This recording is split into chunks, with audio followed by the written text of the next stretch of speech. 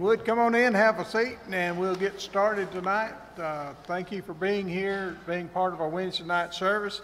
We have several announcements before we uh, are get into our devotional time together. Uh, those that we know of, uh, Lex Kane is in the local hospital, and Jim Wilson's also in the local hospital. Uh, we need to also remember Betty White in our prayers. Pantry item for this week is rice. Earlier this week, we heard from J.T. Beard, and he reported they had that had 13 baptisms and performed two weddings so far in their trip to Guyana this time. Uh, and if you've seen uh, Brother Greg's Facebook account, you'll notice that he and Sarah are there in Thailand, or, uh, Thailand and they are, they are there safely and should be returning home first of next week. Uh, reminder for the sixth grade and below, there will be a trip to the pumpkin patch at Blue Mountain this coming Saturday. Uh, the bus will leave at about 1 o'clock uh, on Saturday. Uh, all children that are going need to have a chaperone with them. If you need any more information or if you have, uh, you need to sign up so that Aaron will know how many folks are going, there's a list in the foyer, or ask uh, Aaron or Cassie about more information concerning that. The Golden Circle also has a trip Saturday uh, to the Ames Plantation. They plan to leave Saturday morning at 8:30. So if you uh, need information about that, see Brother Jim about that tonight.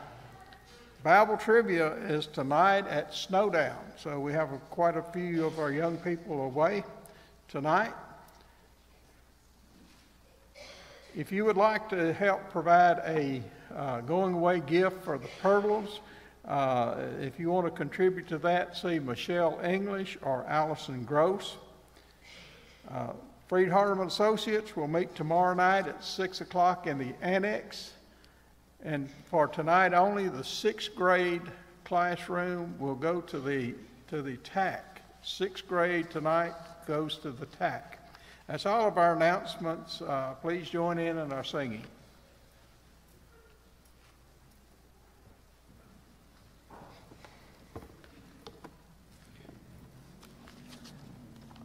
You might go ahead and mark number 939. Number 939. This will be used as a song of encouragement following the lesson in a few minutes. 939. Before our prayer and scripture reading, we'll do number 351. 351.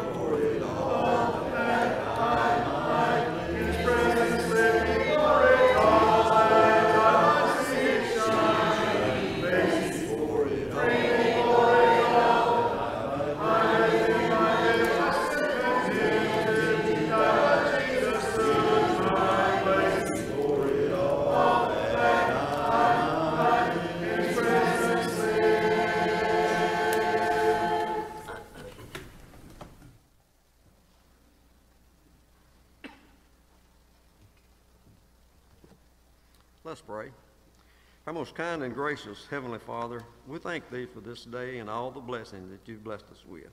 And Father, we thank Thee for Thy Son Jesus that came to this earth and died on the cross that we might have forgiveness of our sins. And Father, forgive us of our sins. And Father, we thank Thee for the opportunity we have to come out tonight and study another portion of Thy Word and sing songs to Thee. And Father, just be with this congregation here at Booneville and bless each member and grant, let us grow in number and in spirit. And Father, be with the elders and the deacons and just grant them the wisdom that they need to make the right decisions for the congregation. Father, be with Greg and Danielle and JT on their mission trip and watch over them and keep them safe and let much good do with their spreading the gospel. And Father, just be with all those that are sick and afflicted. Just bless them and let them get back to their normal walks of life. And be with all those people, Father, that's been affected, affected by the floods and, and the hurricanes that we've had lately, and just continue to bless them. And be with all those people in California that's, that's lost their lives and have lost their homes and their businesses. And Father, just go with us tonight and watch over us and bless us. And all this we ask in Jesus' name. Amen.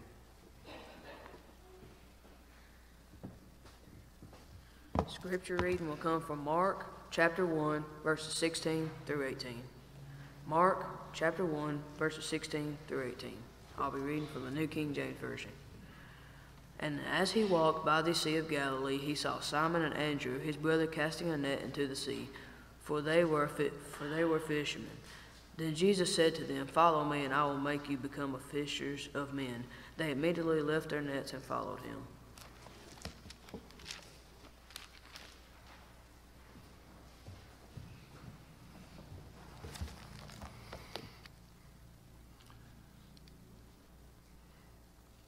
As he was reading Mark 16 through 18 of chapter 1, I thought that I needed to make a small confession to y'all tonight.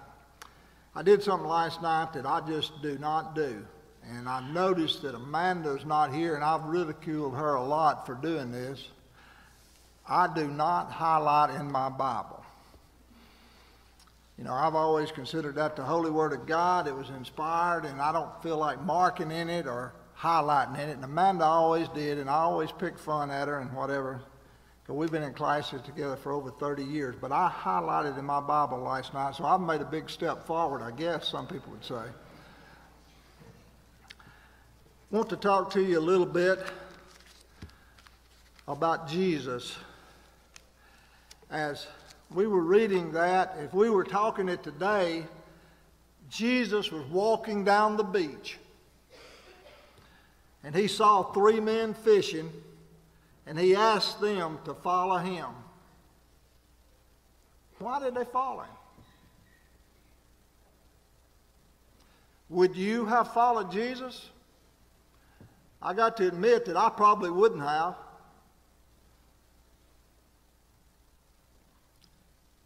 You had lived on this earth during the time that Jesus lived, and he walked along and asked you to follow him, would you have followed him? His family was poor. People rejected his miracle birth. Can you imagine growing up in that time? It's probably hard enough in this time. But an illegitimate child, how they ridiculed him, how they ridiculed Mary. I'm sure well, the Bible doesn't tell us that, but you know they did. He held no ruling position in the community, in the Jewish religion, in the synagogue. He held no ruling position. His friends were poor, they were outcast, they were fishermen. He ate with sinners. Now just imagine, he wasn't the type of person that your mother or their mothers would want their boys to be around. Would you have followed him? His character was in dispute. None of the Jewish leaders believed him. After all, he was proclaiming through his actions at that time to be the Son of God, the Messiah. I'm sure a lot of people thought he was crazy. He had no academic recognition. He wrote no books. He wrote no letters. Probably couldn't even read and write unless it was by the will of God. The only thing that we have in the Bible that says anything about that is he got down on the sand and scribbled with his finger. We don't know if he was writing something or what. Would you have followed a man like that? At the end of his life, he went through a spell of popularity, of course, but at the end of his life, he wasn't very popular at all. The Jewish people wanted to kill him because of what he was saying. He had 12 apostles. One of them betrayed him, sold him. One of them denied him three times, wouldn't even admit to knowing him. The other ten left him. They run.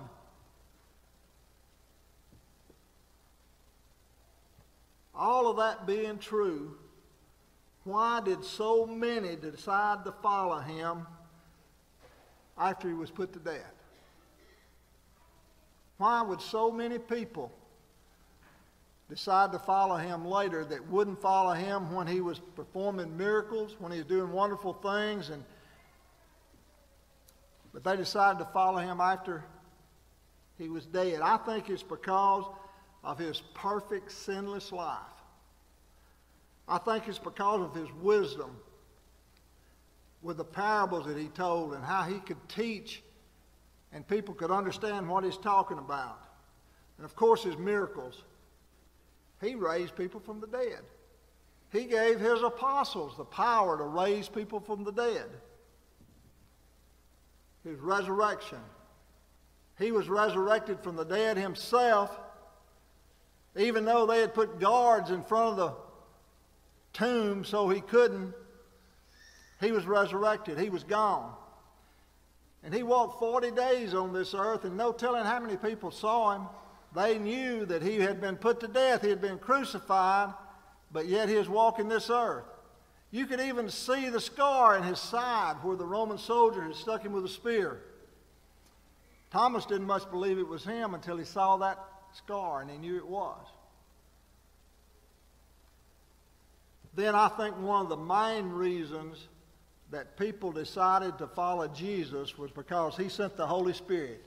You know, he told his apostles that the Comforter would come, and after the Comforter come, he would tell them what to do. That's why we have this Bible, I believe. I've been talking about people 2,000 years ago, but I want to ask you tonight do you have the courage to follow Jesus? Do you want to spend forever in heaven with Him? Or better yet, do you want to not spend eternity in hell? The Bible says hell is full of pain, hell is full of suffering, hell is darkness, darkness forever. By yourself hurting, and darkness. Would you consider following Jesus tonight? We can have eternity with Him, you know, and having an eternity with Him hasn't got anything to do with being here in church on Wednesday night.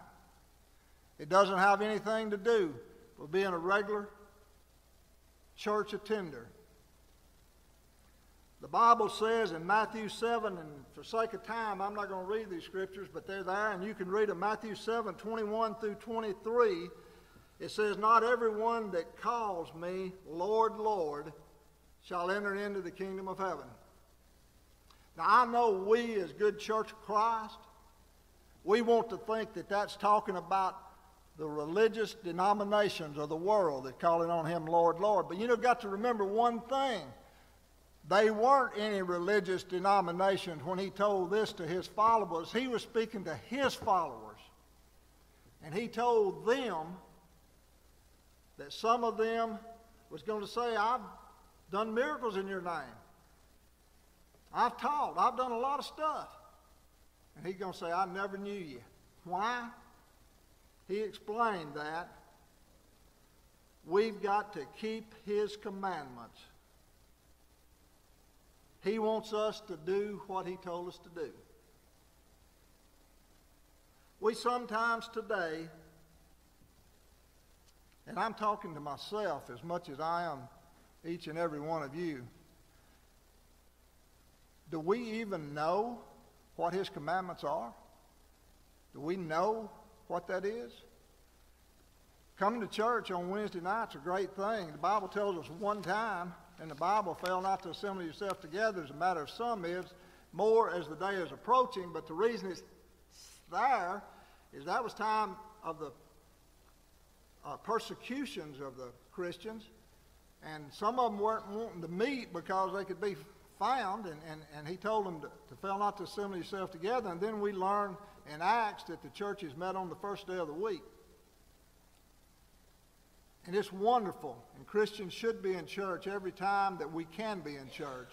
But that is not going to get us to heaven. He explained in 1 John 2 4, He that saith, I know him, but don't keep my commandments, is a liar, and the truth's not in him. Now, I'm not quoting these scriptures. I'm paraphrasing these scriptures. I'm not good enough to quote them. But if you say you know him and you don't keep his commandments, he said the truth's not in you. What are his commandments that we must keep? Well, I believe the basic commandments are we got to believe. We got to believe that he is the only Son of God. John 3:18. We got to repent. Repent means be truly sorry that we have lived in sin, that we've committed sin. Luke 13 3. We've got to confess with our mouth that Jesus is Lord. We've got to do that in front of people. We've got to not be ashamed of Him because He certainly doesn't want us to be ashamed of Him. Romans 10 9. We got to be baptized in water, submersed. 1 Peter 3:21, one of my favorite verses about baptism, it says, "Baptism does now save us." When we get baptized, we're putting on the blood of Jesus Christ. That's where we meet the blood. And that's when our sins are forgiven. But you know, all of those things probably most of us have done. But there's one other thing that the Bible teaches that maybe a lot of us don't do. We got to be faithful unto death, and I will give you a crown of life. Revelations 2:10. Be faithful unto death. Keep his commandments unto death. That's all we got to do. Do what he says. If you've done the first three of those things, I say to you, here is water. What's keeping you from being baptized? If you've done all four of those things, first four things, but you're not living faithful, I say to you, why not turn your life around tonight? If you want to go to heaven and you're not meeting these qualifications, why don't you come now as we sing the invitation song?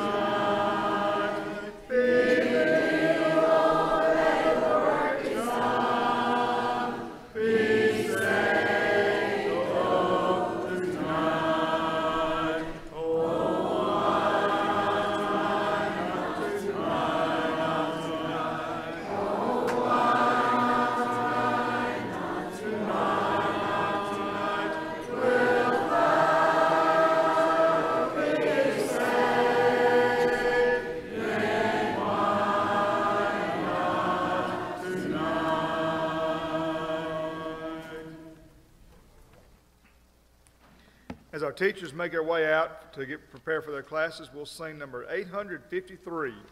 Number 853.